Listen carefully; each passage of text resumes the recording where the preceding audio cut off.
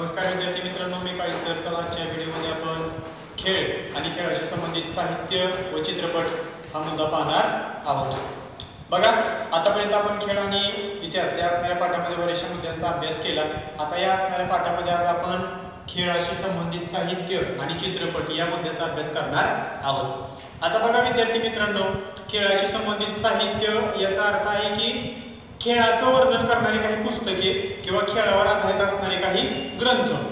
मग आता ग्रंथ पुस्तके लेख या सगळ्यांना आपण एकंदरीत साहित्य असं म्हणतो. म्हणजे खेळाचं वर्णन करणारे किंवा खेळाबद्दल लेखन केले जाणारे काही पुस्तके आपल्याला बघायची आहेत. त्याचबरोबर दुसरा मुद्दा आहे खेळाशी संबंधित चित्रपट. म्हणजे जे काय आपल्या भारतामध्ये खेळले जाणारे खेळ आहेत त्या असणाऱ्या खेळांचं वर्णन करणारे किंवा खेळावर आधारित काही चित्रपट सुद्धा आजच्या काळामध्ये बनवले गेलेले आहेत. मग आजच्या काळामध्ये खेळाशी संबंधित पुस्तके आणि लेख कोणकोणते लिहिली गेली नियतकालिके कोणती लिहिली गेली ते आपल्याला बघायचं आहे. त्याचबरोबर खेळाचं वर्णन करणारे चित्रपट कोणकोणते आजच्या काळात तयार केले गेले त्या मुद्द्याचा अभ्यास आपल्याला करायचा आहे. आता बघा सामान्यपणे जर विचार केला तर आजच्या असणाऱ्या काळामध्ये खेळाशी संबंधित साहित्य हा एक नवीन विषय तयार झालेला आहे. ही एक स्वतंत्र ज्ञानशाखा तयार झालेली आहे. आज जर आपण पाहिलं तर मराठी इंग्रजी हिंदी अशा बऱ्याचशा असणाऱ्या भाषांमध्ये खेळाशी संबंधित पुस्तके ग्रंथ कोश नियतकालिके यांची मोठ्या प्रमाणावरती निर्मिती केली जाते. आज आपण पाहतो बऱ्याचशा असणाऱ्या भाषांमध्ये पुस्तकांची निर्मिती केली जाते कोशांची निर्मिती सुद्धा केली जाते. आता याचंच उदाहरण घ्यायचं झालं तर मराठी भाषेचं उदाहरण घेऊया. अलीकडच्याच काळामध्ये काही वर्षांपूर्वी मराठी भाषेमध्ये मल्लखांब या खेळाचं वर्णन करणारे एक पुस्तक प्रकाशित झालं. मल्लखांबांचा इतिहास सांगणारं पुस्तक मराठी भाषेमध्ये लिहिलं गेलं. म्हणजे मल्लखांब या खेळाची निर्मिती कशी झाली? मल्लखांब हा खेळ कसा सुरू झाला? मल्लखांबामधल्या पकडी कशा असतात? या सगळ्या गोष्टींचं वर्णन करणारं एक पुस्तक मराठी भाषेमध्ये लिहिलं गेलं. त्याला नाव दिलं मल्लखांबांचा इतिहास. त्याचबरोबर मराठी भाषेमध्ये व्यायाम या असणाऱ्या विषयाचं वर्णन करणारा एक कोश तयार केला गेला. कोश एखाद्या असणाऱ्या गोष्टीबद्दल विस्तृत माहिती देणारं पुस्तक. थोडक्यात आपण त्याला डिक्शनरी असं सुद्धा म्हणू शकतो. मग व्यायामाबद्दल व्यायामाचे प्रकार कोणते? व्यायाम कोणकोणते असतात? कशा प्रकारे व्यायाम करायचे आहेत? व्यायामाचा अर्थ काय? कोणकोणते व्यायाम? शारीरिक व्यायाम आपल्यासाठी उपायकारक आहेत अपायकारक आहेत? या अनेक गोष्टींची माहिती देणारं व्यायाम या विषयाचं वर्णन करणारा एक कोश अलीकडच्या काळामध्ये मराठी भाषेमध्ये निर्माण केला गेला त्यालाही आपण खेळाशी संबंधित साहित्य असं म्हणू शकतो. त्याच्यानंतर काही वर्षापूर्वी खेळाचं वर्णन करणारी आणि खेळाबद्दल संपूर्ण माहिती देणारे नियतकालिक ठराविक काळाने प्रसिद्ध केलं जायचं. भूतकाळामध्ये काही वर्षांपूर्वी एक प्रसिद्ध असं नियतकालिक होतं ज्याचं नाव होतं षटकार. बघा षटकार नावाचं नियतकालिक त्या ठिकाणी खेळ या विषयावर आधारित होतं. म्हणजे पूर्वीच्या असणाऱ्या काळामध्ये खेळाचं वर्णन करणारं ठराविक काळामध्ये प्रकाशित होणारं नियतकालिक म्हणजे षटकार होय. आता बघा विद्यार्थी मित्रांनो मराठी भाषेमध्ये मल्लखांबांचा इतिहास हे पुस्तक तयार झालं. खेळाचं वर्णन केलं. त्याचबरोबर त्या ठिकाणी व्यायाम या असणाऱ्या विषयाबद्दल व्यायाम असणाऱ्या खेळाबद्दल माहिती देणारा कोश तयार झाला. त्याचबरोबर पूर्वीच्या काळामध्ये वेगवेगळ्या खेळांची माहिती देणारं षटकार नावाचं नियतकालिक त्या ठिकाणी प्रसिद्ध करण्यात येत होतं. मग आता मल्लखांबांचा इतिहास षटकार व्यायाम यासारखी पुस्तके कोश आहेत नियतकालिके आहेत. याच्या माध्यमामधून खेळाचं वर्णन केलं जातं. मग अशा पुस्तकांना कोशांना आपण म्हणतो खेळाशी संबंधित साहित्य. सर्व विद्यार्थ्यांच्या लक्षात हा मुद्दा आलेला असेल खेळाशी संबंधित साहित्य म्हणजे काय? थोडक्यात खेळाचं वर्णन करणारे खेळाबद्दल माहिती देणारे कोश पुस्तके नियतकालिके यांना आपण म्हणायचं आहे खेळाशी संबंधित साहित्य. आता बघा हे खेळाशी संबंधित साहित्य जे आहे ते फक्त मराठी भाषेमध्येच नाहीये. इंग्रजी भाषेमध्ये सुद्धा मोठ्या प्रमाणावरती त्या ठिकाणी खेळाशी संबंधित पुस्तके कोश नियतकालिकांची निर्मिती केली गेली आहे. म्हणजे खेळाशी संबंधित साहित्य फक्त मराठी भाषेतच नाहीये हिंदी भाषेतच नाहीये तर ते इंग्रजी भाषेमध्ये सुद्धा आहे इंग्रजी भाषेमध्ये सुद्धा खेळाशी संबंधित पुस्तके कोश आहेत नियतकालिके सुद्धा आहेत. त्याचबरोबर खेळाबद्दल माहिती देणारे किंवा खेळाच्या वर्णन करणाऱ्या दूरदर्शन त्यालाच आपण डीडीचा डीडी नॅशनल असं म्हणतो. त्या ठिकाणी दूरदर्शन आणि दूरदर्शन सारख्या दुसऱ्या अन्य वाहिन्या सुद्धा आजच्या काळामध्ये निर्माण झालेल्या आहेत मग जर आपल्याला दोन मार्कांसाठी प्रश्न विचारला की खेळाशी संबंधित साहित्य म्हणजे काय? त्याच्यामध्ये काय काय येतं? तर बघा मुलांना आपण सांगू शकतो खेळाशी संबंधित साहित्यामध्ये पुस्तके येतात कोश येतात नियतकालिके येतात आणि खेळाचं वर्णन करणारे दूरदर्शन किंवा त्याच्यासारख्या अन्य वाहिन्या किंवा चॅनल सुद्धा येतात. बघा पहिल्यांदा तुमच्या लक्षात आलेलं असेल खेळाशी संबंधित साहित्य. जर समजा आपल्याला रिकाम्या जागेला विचारलं की बाबा मराठी भाषेमध्ये नुकताच डॅश डॅशचा विषय इतिहास प्रसिद्ध झालेला आहे तर त्याचं उत्तर आपण लिहू शकतो. मराठी भाषेमध्ये नुकताच मल्लखांबाचा इतिहास प्रसिद्ध झालेला आहे. दुसरी रिकामी जागा मराठी भाषेमध्ये डॅश या विषयावर आधारित कोश तयार केला गेला. व्यायाम या विषयावर कोश तयार केला गेला याचं उत्तर आहे व्यायाम तिसरी निकट जागा आपण लिहू शकतो. पूर्वीच्या काळामध्ये खेळाचं वर्णन करणारं डॅजेज नावाचं नियतकालिक ठराविक काळानं प्रसिद्ध केलं जात होतं. त्याचं उत्तर आहे षटकार नावाचं नियतकालिक. म्हणजे अशा पद्धतीने आपण खेळाशी संबंधित साहित्य सांगू शकतो. आता बघा मुलांना पुढचा मुद्दा आहे खेळाशी संबंधित चित्रपट खेळ आणि चित्रपट. आता बघा आपण दूरदर्शनवरून किंवा अन्य वाहिन्यांवरून अनेक प्रकारचे होत असतो. प्रत्येक चित्रपटाचा विषय वेगवेगळा असतो.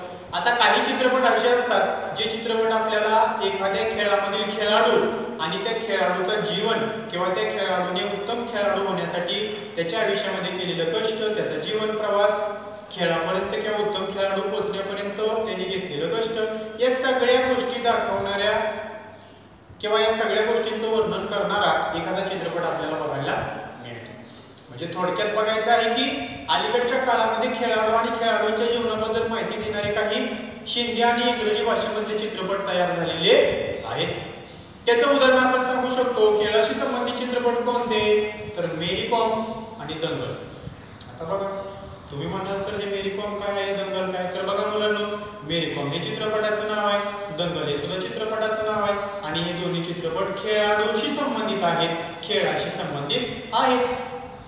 मग मेरी कॉम ही आपल्या असणाऱ्या भारतामधली पहिली अशी भारतीय महिला होती जिनं ऑलिम्पिक स्पर्धेमध्ये भाग घेतला आणि ऑलिम्पिक स्पर्धेमध्ये भाग घेऊन भारताला मुष्टियुद्ध म्हणजे बॉक्सिंगच्या स्पर्धेमध्ये कांस्य पदक मिळवून दिलं.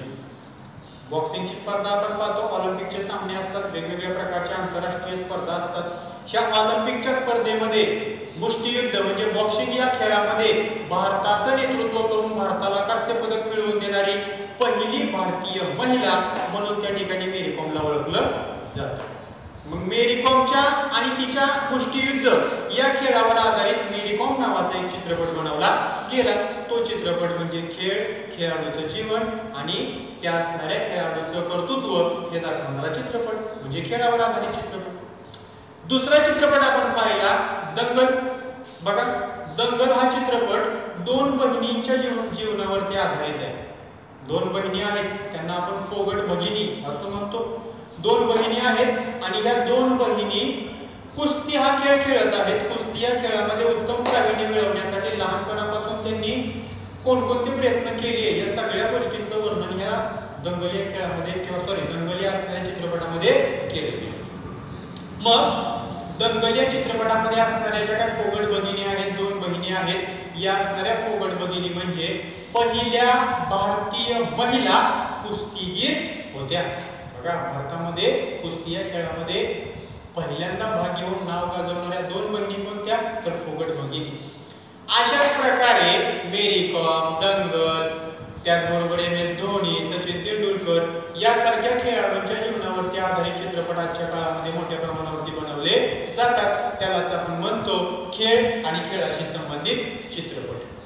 मग जर आपल्याला प्रश्न विचारला की खेळाशी संबंधित चित्रपट कोणते तर आपण तीन चार उदाहरण सांगू शकतो. मेरी कॉम आहे दंगल आहे एम एस धोनी आहे सचिन तेंडुलकर आहे मिल्खा सिंग आहे.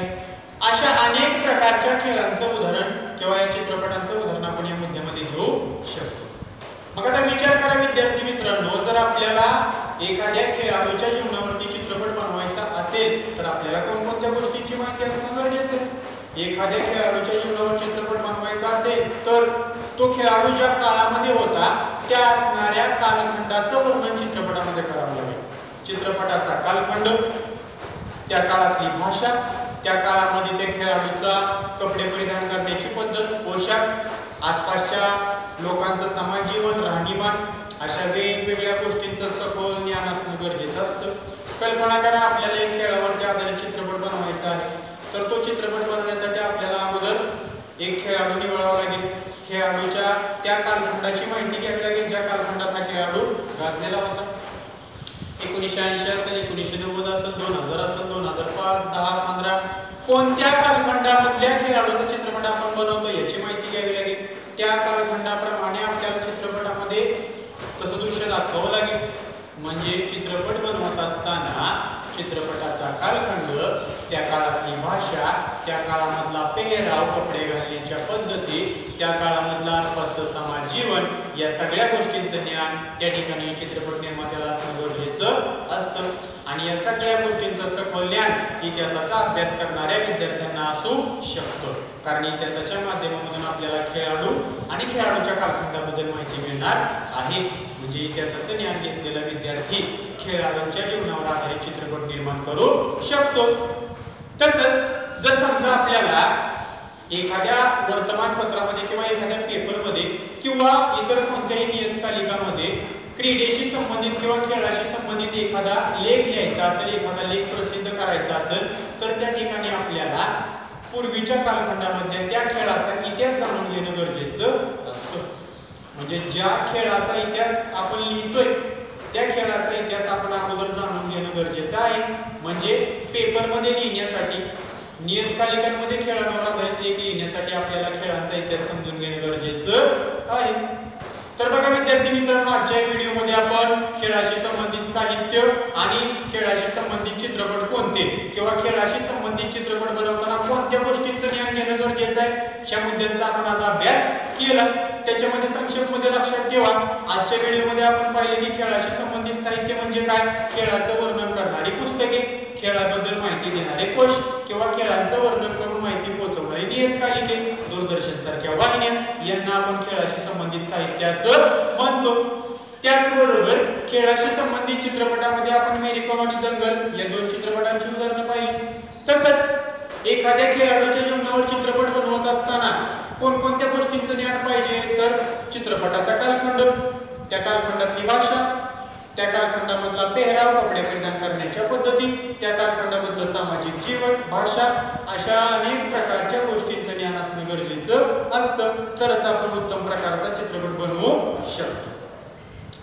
अपेक्षा करतो तुम्हाला सगळ्यांच्या लक्षात हा व्हिडिओ आलेला असेल. या असणाऱ्या पाठामध्ये पुढचा मुद्दा लवकरच मी तुमच्या पुढच्या व्हिडिओमध्ये तुमच्यासमोर घेऊन येणार आहे. तोपर्यंत आपण थांबूया धन्यवाद.